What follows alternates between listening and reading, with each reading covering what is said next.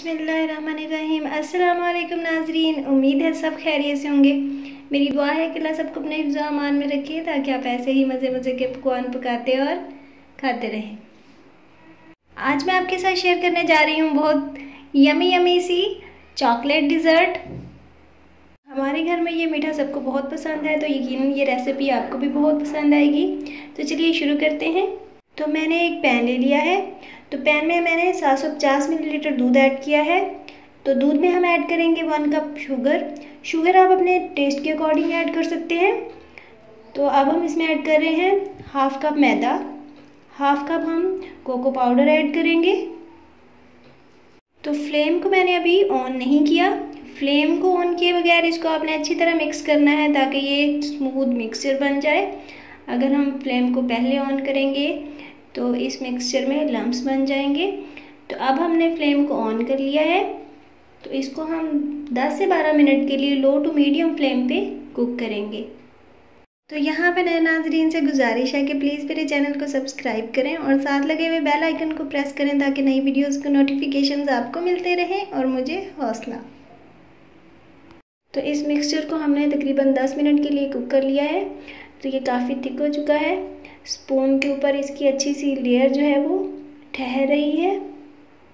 तो अब हम इस मिक्सचर में ऐड करेंगे वनीला एसेंस तो मैंने one teaspoon vanilla essence add कर दिया है। साथ ही मैं ऐड कर रही हूँ टू टेबल स्पून बटर मैंने होममेड बटर ऐड किया है। तो बटर को हम मेल्ट कर लेंगे। मज़ीद ये मिक्सचर जो है वो दो मिनट के लिए कुक हो जाएगा। तो हमारा मज़ेदार सा चॉकलेट सिरप रेडी है। इसको आप ऐसे भी खा सकते हैं, क्योंकि ये बहुत ही टेस्टी लगता है। तो अब हम इसको छान लेंगे, क्योंकि इसमें कोई लम्स बाकी नहीं रहना चाहिए। चॉकलेट सिरप की कंसिस्टेंसी आपने यही रखनी है। तो इसी तरह हम सारा सिरप जो है वो छान लेंगे। चॉकलेट सिरप हमारे पास रेडी है तो अगला प्रोसेस शुरू करते हैं, जो कि बहुत ही मज़ेदार है। तो मैंने चंद डाइजेस्टिव बिस्किट ले लिए हैं। तो बिस्किट्स को हम दूध में डिप करेंगे और एक बाउल में सेट करते जाएँगे। तो बाउल जिसमें हम ये डिज़र्ट सेट कर रहे हैं, आप अपनी मर्ज़ी से किसी भी शेप या साइज़ का ले सकते हैं। तो हमने बिस्किट्स की लेयर लगा ली है तो उनके ऊपर हम चॉकलेट सिरप की लेयर लगाएँगे। तो ये सिरप अब काफ़ी हद तक ठंडा हो चुका है। तो सिरप की हमने एक अच्छी सी लेयर सेट कर ली है। अब उसके ऊपर मज़ीद बिस्किट्स की लेयर लगाएँगे।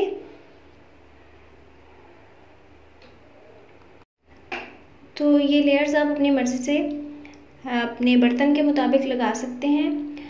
मैंने चार लेयर्स लगाई हैं। अब हम बिस्किट्स की लास्ट लेयर लगाएँगे। तो उसके बाद सिरप ऐड कर देंगे।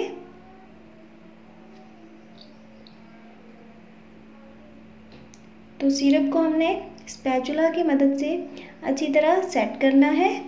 तो सिरप की लेयर को सेट करने के बाद हम इसके ऊपर ऐड करेंगे ग्राइंड किए हुए बिस्किट्स और साथ ही हम चंद मज़ीद बिस्किट्स के साथ इसको गार्निश कर देंगे और हमारी डिश रेडी है। इसको हम दो घंटे के लिए फ्रिज में रख देंगे।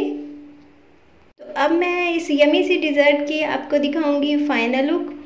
तो अगर इसको मज़ीद आप दो घंटे, यानी कि अगर चार घंटे के लिए इसको फ्रिज में रखेंगे तो ये मज़ीद हार्ड हो जाएगी, ज़्यादा जम जाएगी। लेकिन ये इसी तरह मुझे बहुत पसंद है और ये इस तरह बहुत ही टेस्ट लगती है। तो इसलिए मैं इसको ऐसे ही सर्व करूँगी। तो जब ये डिज़र्ट आप टेस्ट करेंगे तो इसका टेक्सचर आपको बहुत ही कमाल का फील होगा।